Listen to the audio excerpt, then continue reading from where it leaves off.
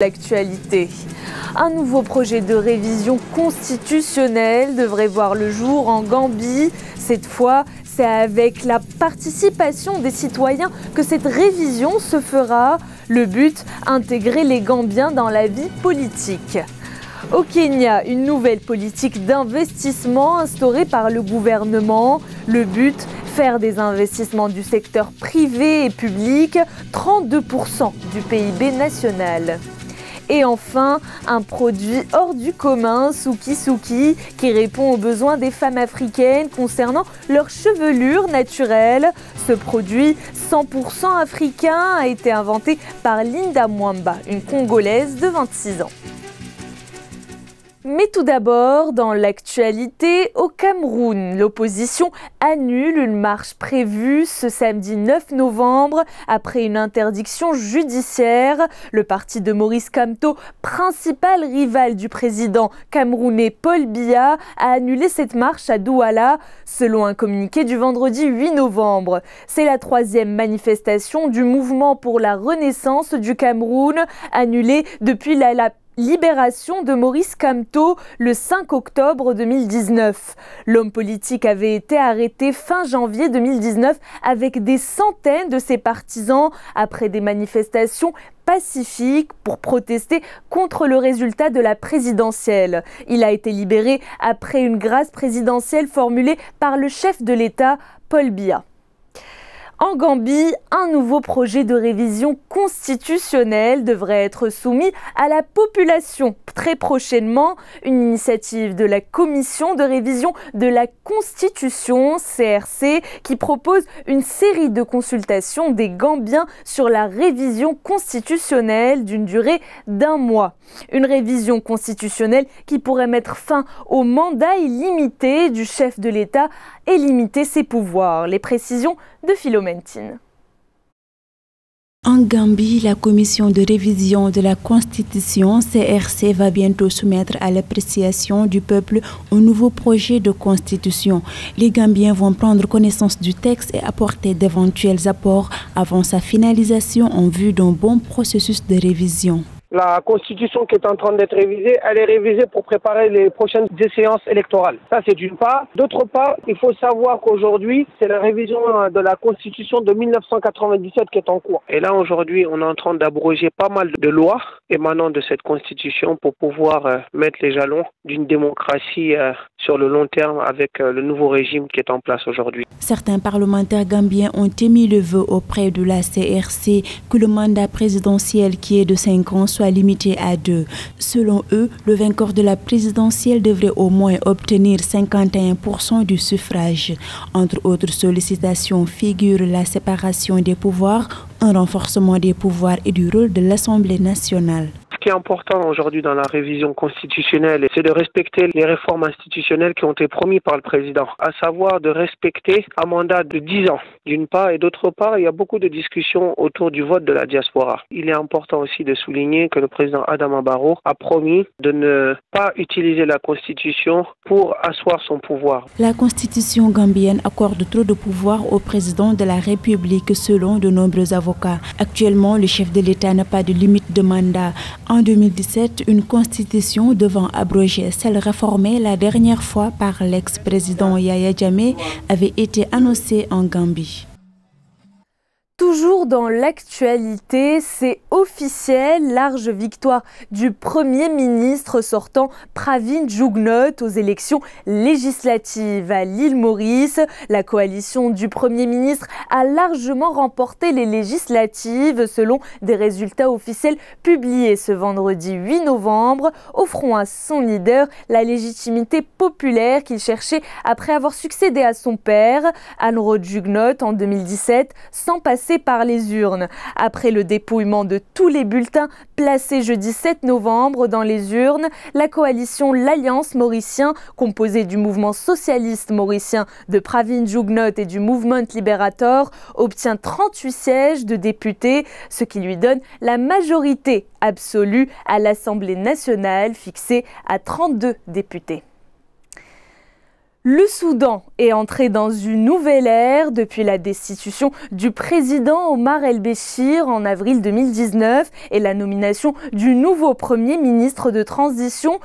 Abdallah Hamdok. La formation du nouveau Parlement était prévue le 17 novembre, mais elle sera peut-être reportée. Les groupes rebelles ont fait savoir ce jeudi 7 novembre qu'un accord doit d'abord être connu. Les précisions de Marie-Colette Babasagana.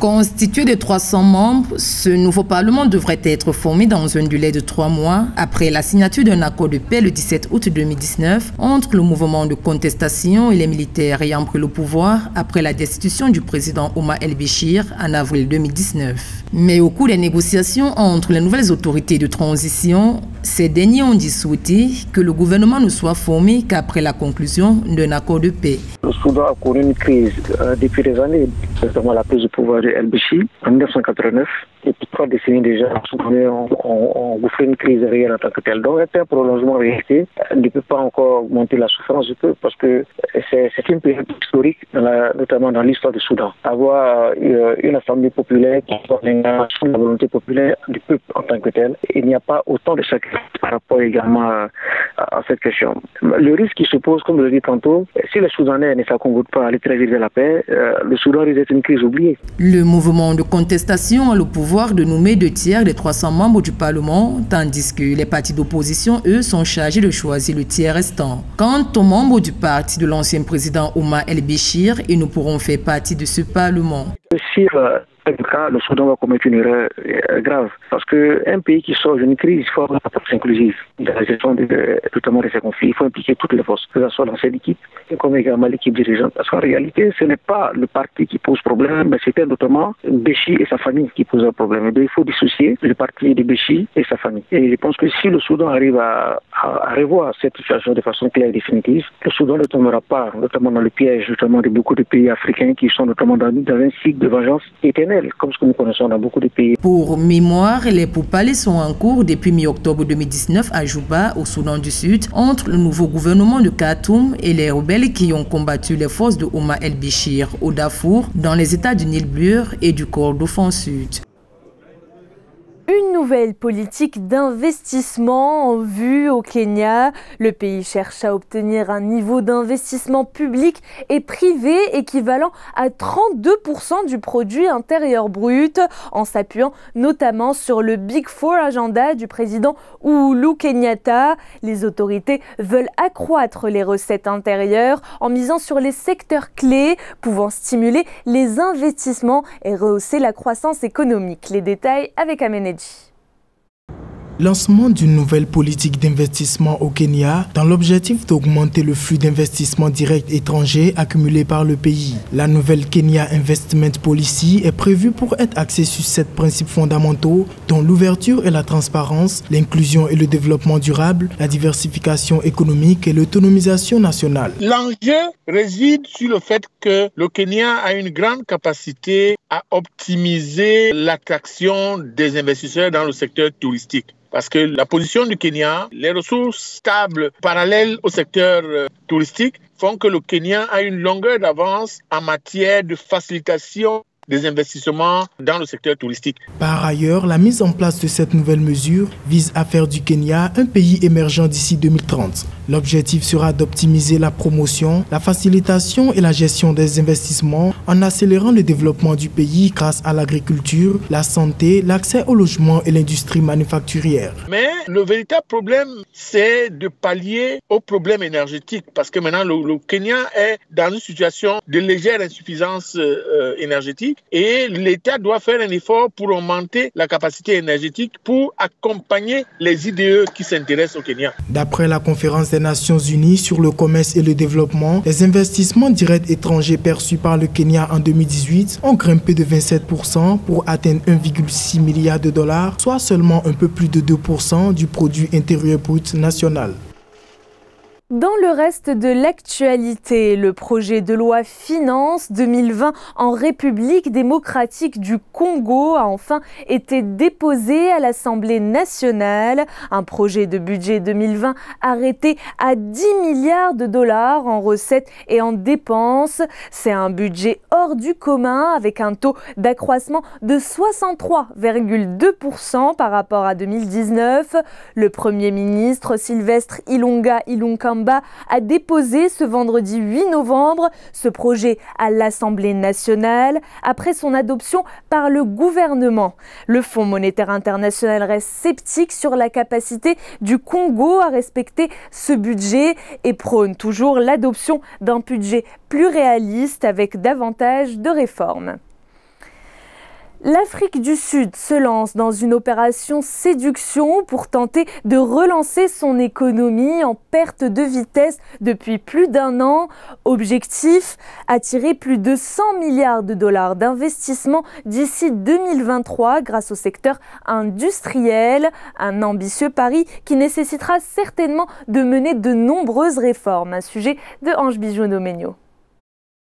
L'Afrique du Sud est en quête d'investisseurs pour relancer son économie. D'ici 2023, les autorités du pays se sont donné pour objectif d'attirer 100 milliards de dollars d'investissement grâce au secteur industriel. Cette opération séduction va nécessiter beaucoup de réformes, notamment au niveau du secteur privé. Le défi principal, de mon point de vue, qui fait l'objet de l'actualité, c'est le défi de la réduction des inégalités. Le défi de la réduction des inégalités passe par euh, l'amélioration du marché du travail. Donc il y a un défi important dans la formation un défi important euh, dans le renouvellement des infrastructures et il me semble que l'Afrique du Sud est capable, n'est-ce pas, de mobiliser ces, ces, ressources. Depuis septembre 2018, l'économie sud-africaine a du mal à rassurer ses investisseurs. Selon la Chambre de commerce du pays, l'indice de confiance a atteint 91,8 points en mars 2019 contre 93,4 points en avril.